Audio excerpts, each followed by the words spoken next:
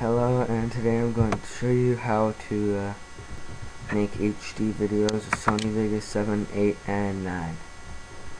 First, you open up your Sony Vegas, got this set up here. File, Properties,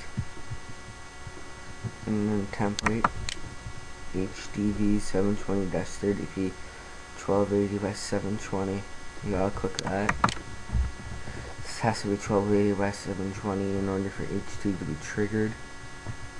Change the full resolution rendering quality to best. Audio, resample and stretch quality to best. Apply. Okay. If you're already working on a video, just skip this step. And if you're not and you just want to test it, I guess, for later purposes, first go in here. Let's find where your video is located.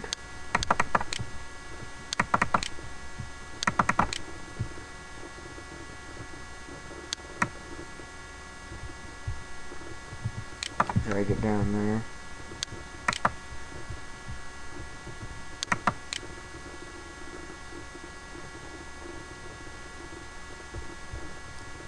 And when you reverse it, and do all your editing,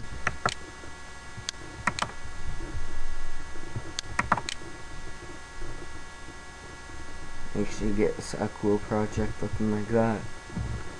Then when you're done, click File, Render As.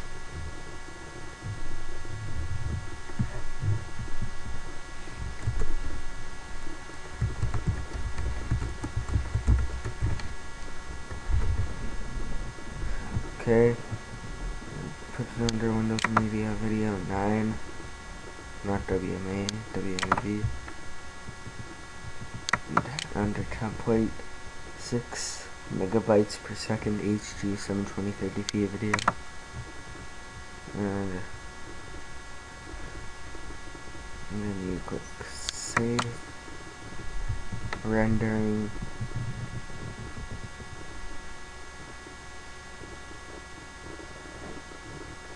and you should get an HD video just from there. See ya, goodbye.